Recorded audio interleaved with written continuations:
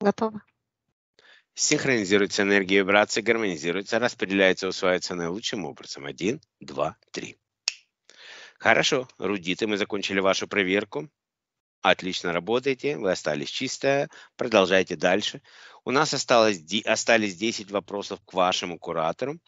И сейчас мы будем делать запрос и приглашать его в нашу комнату диагностики. И я делаю запрос в энергоинформационном поле и приглашаю в эту комнату диагностики прийти куратора или учителя Рудиты. Приветствую здесь. Приветствую я здесь, вас. я наблюдаю. Благодарю вас. Представьте, снимаются маски и голограммы. Фантом предстоит перед тобой в первозданном виде согласно своему эфирному коду ДНК. Мы приветствуем куратора или учителя Рудиты. Представьтесь, пожалуйста, как нам к вам обращаться. Лорен. Лорен. Приветствуем вас, уважаемый Лорен. Меня зовут Влад, это Вера. Мы сегодня проводили проверку вашей подопечной. Она чистая, отлично работает над собой. 10 вопросов к вам. Будете ли вы так любезны ответить на эти вопросы? Я вас приветствую, уважаемые ангелы, и я готов ответить на вопросы своей подопечной и рад находиться здесь. Благодарим вас. Первый вопрос. Мне интересно узнать, откуда моя душа. Ангельская душа проходит свой, получает свой опыт на планете Земля, проходит свой э, цикл повышение осознанности десятого уровня ангельского. Благодарю вас, уважаемый Лорен. Мы приветствуем на этом месте представителя ангельского мира. Мы очень рады вам. Благодарю за этот прием. Второй вопрос. Каковы рекомендации и предложения по повышению моей энергии, чтобы я могла повысить свои вибрации и реализовать свой потенциал? Повышение вибрации зависит от твоего желания. С развитием, получением новой информации повышается твоя осознанность, и ты не можешь находиться на низких вибрациях или спускаться до них, раздражаясь, спускаясь до ссор, грубости или неприятных реакций. Это и есть главные негативные моменты, на которых понижаются вибрации, и я бы назвала их щекочущие моменты.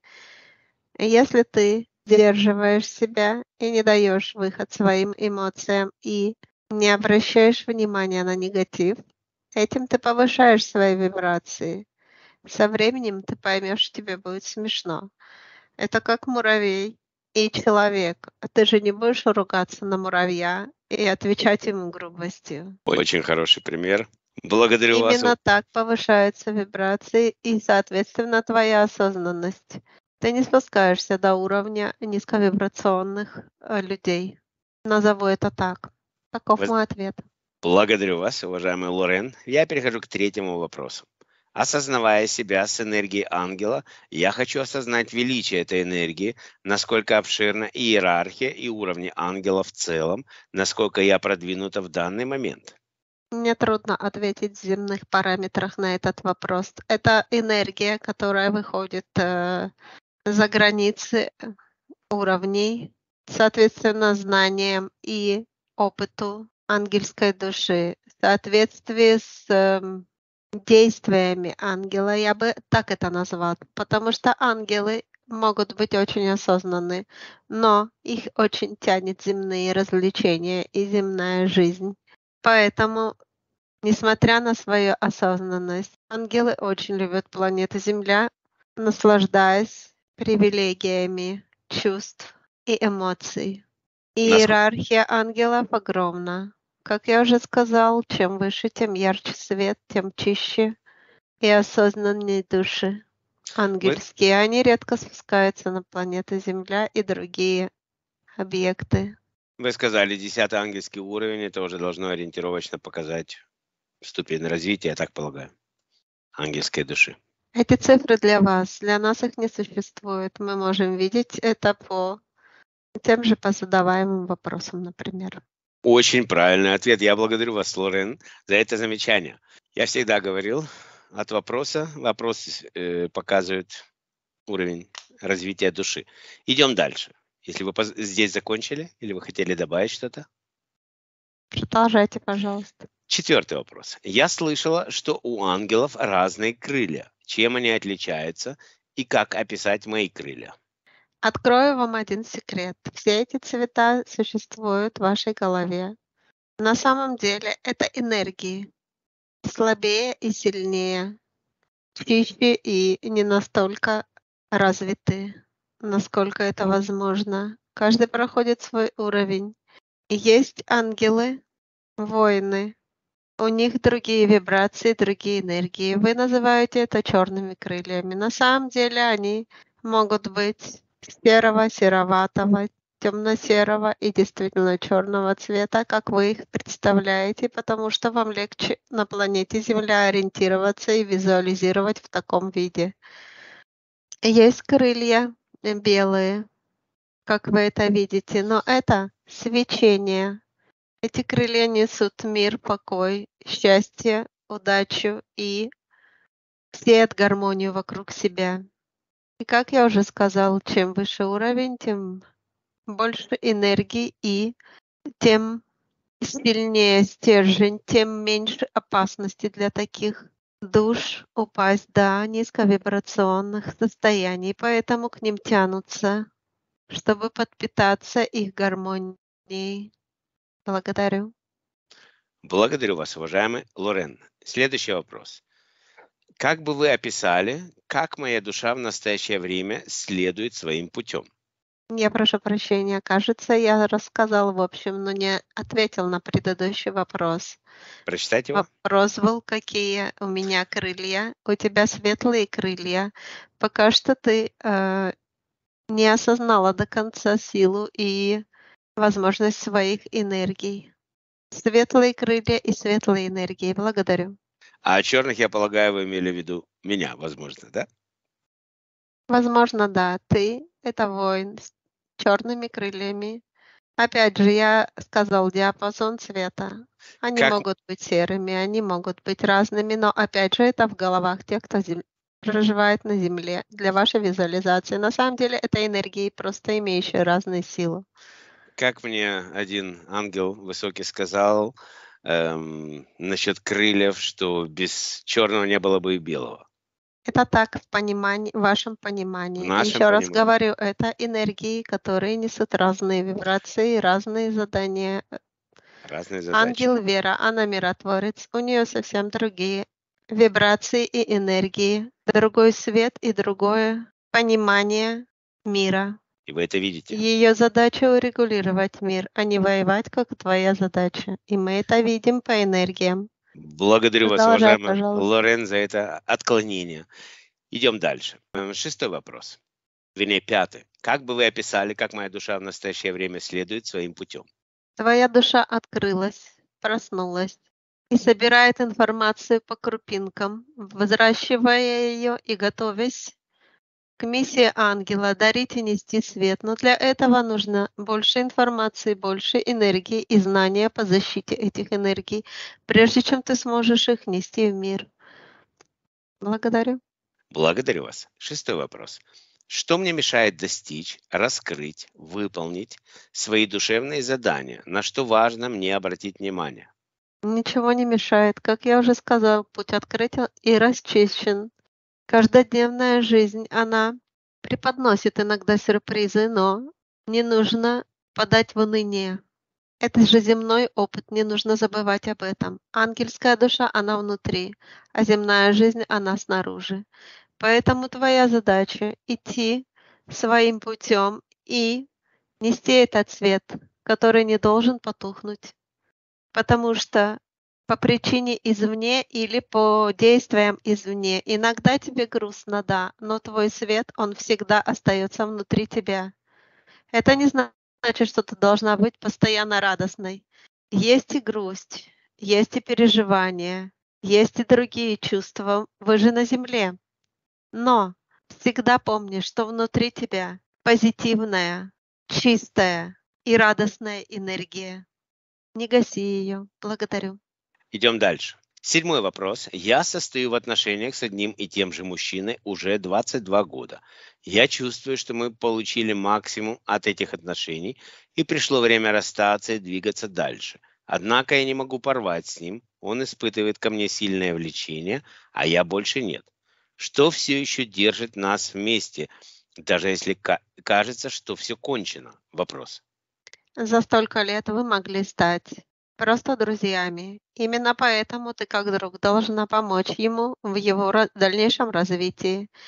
Если его душа будет готова к этому, тогда он поднимется до определенного уровня, где тебе опять будет с ним интересно, и вы сможете делать много дел вместе. Но здесь должна быть работа двух душ. С обеих сторон. Конечно, раз столько лет вы были вместе, значит, вас связывает много ситуаций, решение этих ситуаций. Разговор для этого и существует разговор и глаза. Смотрите друг другу в глаза и задавайте прямые вопросы, которые существуют и интересуют вас. Где, зачем, почему, что бы вы хотели от этого человека. Разговаривайте. И очень много общего всхлынет между вами. И новый путь откроется для него или для вашей пары. Благодарю. Замечательный ответ. Благодарю вас, уважаемый Лорен. Восьмой вопрос. Какие кармические отношения присутствуют в моей жизни и как мне с ними справляться? А седьмой вопрос уже был? Седьмой вопрос был.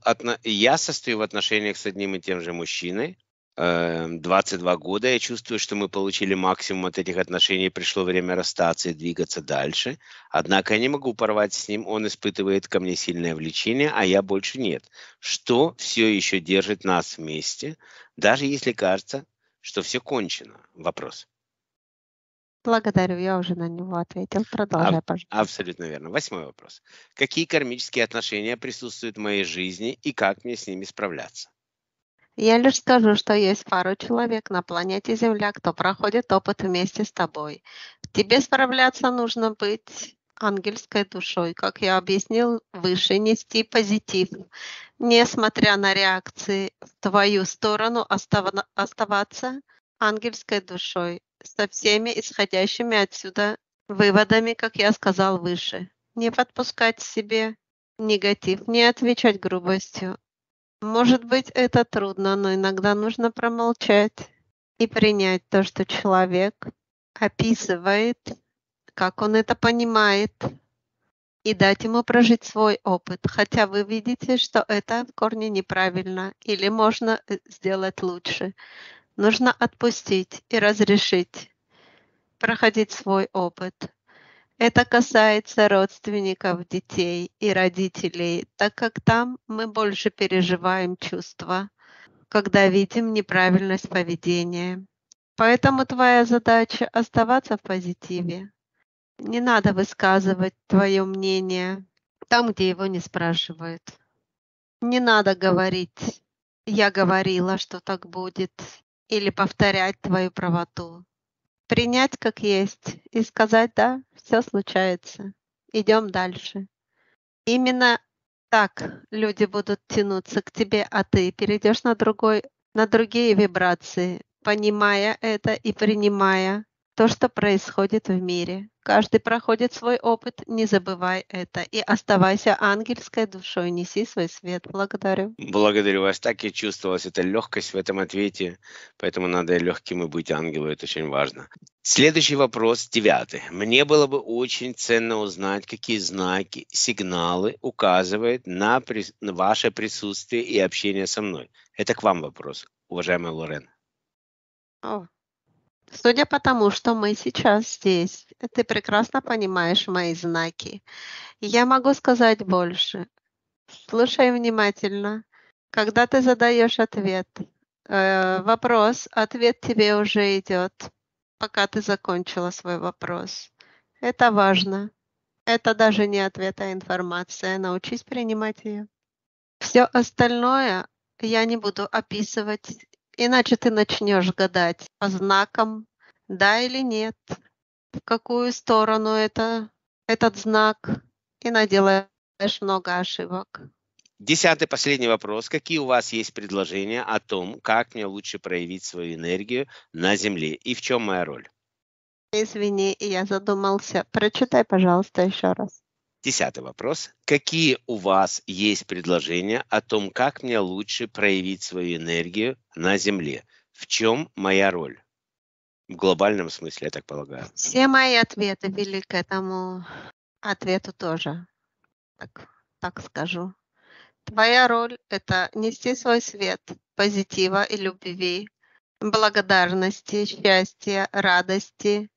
Все, что бы ты ни делала, делай это с любовью. С любовью относись к самой планете Земля, к растениям, к животным, к людям вокруг тебя. Помни, что нужно уметь договариваться. Сейчас я попробую сформулировать мое последнее замечание. Вы часто ругаетесь и падаете до низких вибраций на Земле, но вы забываете, что есть возможность договариваться понимая друг друга, предлагая другие варианты осуществления каких-то задач и находя общее решение. Именно на этом ваша душа растет, проходя такие задания, где вы договариваетесь и идете выше, получая свой опыт, как на Земле, выходя из него с позитивом, даже если он негативный. Вы называете это разруливать ситуации. Вот разруливаете их, договариваясь, а не обманывая друг друга. Именно это задача ангелов. Делать все красиво и с любовью, чтобы не было осадка на светлой душе. Благодарю. Благодарю вас, уважаемый Лорен. Вопросов больше нет. Если вы хотите от себя что-то добавить или активировать стержень ее, ангельский, это был бы самый лучший момент. О да, я с удовольствием активирую ангельский стержень. Дай мне твои руки. Я лишь хочу подсветить свой стержень, так как твоя душа активирована, и ты знаешь, кто ты, и ты знаешь, какие энергии это несет. Я лишь хочу подсветить, чтобы радость жизни и эта ангельская искра была прочувствована тобой, увидена и никогда ничем не смогла быть затушена, загашена и превратилась в пепел. Неси свой свет, что бы ни случилось. Благодарю. Вопросов больше нет, уважаемый Лорен. Благодарю вас за эти ответы. Осталась добрая традиция в этой комнате диагностики, о которой вы, возможно, пока еще не знаете. Верочка, в твоих руках появляется большая корзинка с самыми вкусными, спелыми, сочными ягодами, которые есть на земле. Один, два, три. И мы спрашиваем разрешения уважаемого куратора Лорена, можем ли мы передать ему этот скромный подарок в знак благодарности за его ответы, за его помощь своей подопечной и просто на добрые воспоминания об этой встрече. О, какой прекрасный подарок. Мне так приятно. А нам вдвойне. Сейчас я почувствовал радость земли. Эти ягоды, они наполнены солнечным светом. От них идет тепло и благодать. Благодарю вас. Благодарю вас. Уважаемый Лорен, передавайте привет ангельскому миру. Мы рады всем кураторам, которые достучатся до своих подопечных. Мы готовы со своей стороны открыть им двери, убрать все преграды на их пути, а дальше в эти двери они уже пойдут сами. Прекрасная встреча, радостные эмоции и много света в этой К- комнате. Благодарю вас. Когда ангелы встречаются, другого невозможно ожидать. Благодарю вас, уважаемый Лорен, за эту энергию, которую вы принесли в эту комнату диагностики. Желаем вам всего наилучшего. И я говорю до скорых встреч. До скорых встреч и остаемся на связи. Остаемся на связи. Благодарю вас. Рассинхронизируйся, Верочка. Готово. Хорошо, Рудиты. Мы закончили встречу с вашим куратором, ангелом Лореном. Вы получили ответы на свои вопросы? Да, это прекрасная встреча. Я вся свечусь, и я рада. Рада тому, что я осмелилась встретиться со своим куратором и нашла правильные вопросы. Благодарю вас. Благодарим и мы вас. Мы очень рады работаете над собой, у вас отлично все получается. Сейчас будем возвращать вас назад, и все эти энергии перейдут на физический план. И для усвоения энергии вибрации возвращаем тонкую копию рудиты в ее систему биоробот душа. Заводим, подключаем ее к каждому органу, каждой клеточке, каждой извилинке головного мозга. Проходит полная синхронизация, гармонизация между физическим биороботом и энергетическими тонкими телами. Готово. Отключаемся от объекта и поднимайся в свою комнату диагностики. Пошел подъем.